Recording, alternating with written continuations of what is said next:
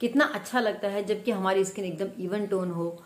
हमारे चेहरे में दाग धब्बे ना हो और हमारे चेहरे में काले घेरे भी ना दिखाई देते हों। ब्लेमिशेस की प्रॉब्लम आजकल बहुत आम हो गई है। तो मैं आज आप सबके साथ एक ऐसा सरल सा नुस्खा लेके आई हूँ, जो 100% परसेंट बेनिफिशियल है। और सबसे अच्छी बात यह है कि हमारी किचन में ही अवेलेबल है।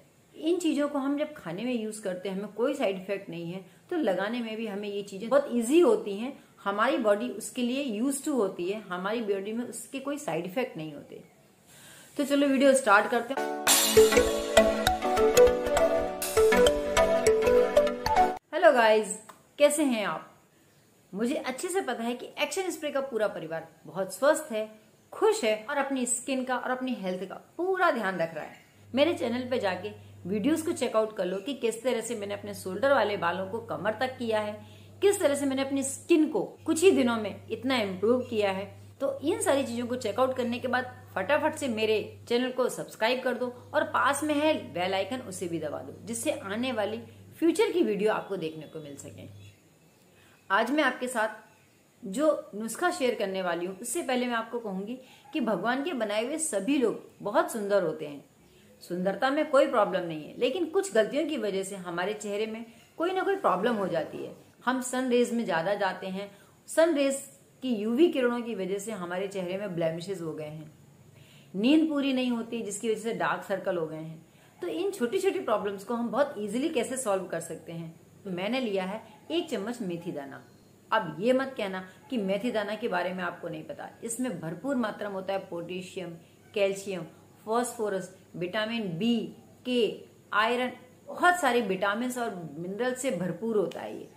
ये कैंसर जैसी बड़ी बड़ी बीमारियों में जो लोग सुबह इसका पाउडर का सेवन करते हैं, खाली पेट इसका आधा चम्मच पाउडर लेते हैं, उनकी शुगर ठीक हो जाती है। जो लोग डेली मेथी दाना का यूज़ करते हैं, उनका डाइजेशन बहुत अच्छा रहता है। इतनी सारी प्रॉब्लम ये सॉल्व करता है। तो इन सब चीज़ों को हम छोड़ के किस चीज़ पे कंसंट्रेट कर रहे हैं कि हमारी स्किन को ये कितना बेनिफिट दे सकता है? ये हमारे ब्लेमिशेस को ठीक करने में हमारे दाग धब्बों को ठीक करने में डार्क सर्कल को खत्म करने में स्किन को इवन बनाने में बहुत बेनिफिशियल होता है। तो मैंने इसको गला दिया है ओवरनाइट के लिए। अब सुबह इसका मैक्सिमम पानी निकाल देंगे और इसको हम करेंगे ग्राइंड अगर ये अच्छे से ग्राइंड नहीं होता है, बहुत कम क्वांटिटी होने की वजह से तो इसमें हम थोड़ा सा पानी और मिक्स कर लेंगे। है?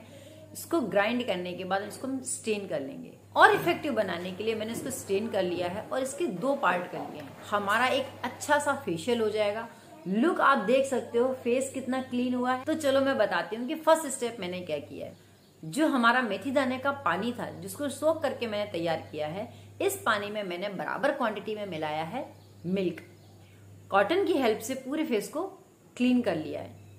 सेकेंड स्टेप में जो हमारा ये अच्छा थिक पेस्ट तैयार हुआ था, इसमें मैंने थोड़ा सा मिलाया है राइस फ्लोर इससे क्या होगा, आपका फेस अच्छा एक्सफोलिएट हो जाएगा। ये देखो, इतना अच्छा जेल फॉर्म है कि आपके फेस पे अच्छे से चिपक भी नहीं रहा है। इसको आप ऐसे ही स्क्रब करोगे और देखोगे कि कितनी स्किन क्लीन दिखाई दे रही है। अगर आपको स्टेप नहीं आते हैं, कोई प्रॉब्लम नहीं है, आप इसको सिर्फ़ राउंड राउंड दो मिनट मसाज कर लो। अगर स्टेप देखना चाहते हो तो मैं आपको पुरानी वीडियो का लिंक दे दूँगी, जिसमें आप चेकआउट कर सकते हो कि किस तरह से आपको फेस के प्रॉपर स्टेप करना चाहिए। इसके बाद नेक्स्ट स्टेप आता है हमारा क्रीम का। अब इतनी शानदार क्रीम और कौन सी हो सकती है? ये जेल जैसा आपको मेथी का पेस्ट दिखाई दे रहा है। इसमें आपको मिलाना है आधा नींबू। आपकी क्रीम की ब्लीचिंग प्रॉपर्टीज़ बढ़ जाएँगी। आपके दाग धब्बों को खत्म करने की क्वालिटी और ज़्यादा इम्प्रूव हो जाएगी। और इसमें लास्ट चीज़ जो मैंने मिलाई है, वो है हल्दी पाउडर इसमें बहुत सारी एंटी बैक्टीरियल और एंटी फंगल प्रॉपर्टीज़ होती हैं। ये बहुत सारी स्किन प्रॉब्लम को दूर करता है। डेली करना चाहते हो तो इसको स्टेन करने का प्रोसीजर हटा दो। राइस इसी पेस्ट में आप मिला लो और इसके साथ आपको नींबू और हल्दी भी मिलाना है। और ये प्रोसेस एक साथ आप कर सकते हो। लेकिन अगर अच्छा रिज़ल्ट चाहते हो प्रॉपर फेशियल करना चाहते हो तो इसी प्रोसेस से करो। अब आपको मसाज करनी है, आपके ब्लेमिशेस किस जगह पे ज़्यादा हैं, वो स्टेप आपको प्रॉपर करना है। दो मिनट मसाज करने के बाद फेस को क्लीन कर सकते हो। लास्ट प्रोसेस आप स्किप नहीं कर सकते। सबसे पहले आपको लेना है मुल्तानी मिट्टी और इसमें सोख किए हुए पानी से आपको इसको घोलना है। और इसमें लास्ट में आपको मिलाना है हनी इस हनी के बारे में आपको बताऊँ, ये स्किन को टाइट करता है ब्राइट करता है, आपकी स्किन से एजिंग इफेक्ट्स कम करता है। बहुत सारी प्रॉपर्टीज़ हमारी हनी में होती हैं। आपने अगर कभी ट्राई किया हो तो हनी को केवल फेस पे लगा के देखो। फिर स्किन का ग्लो देखना।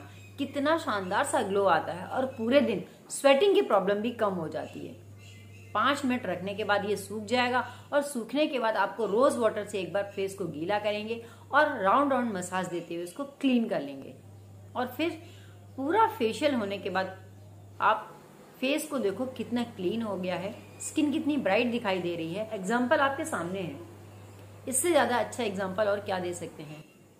आपने स्टार्टिंग में मेरा फेस चेक कर लिया था और अब आप देख रहे हो कि फेस में कितना डिफरेंस आया है।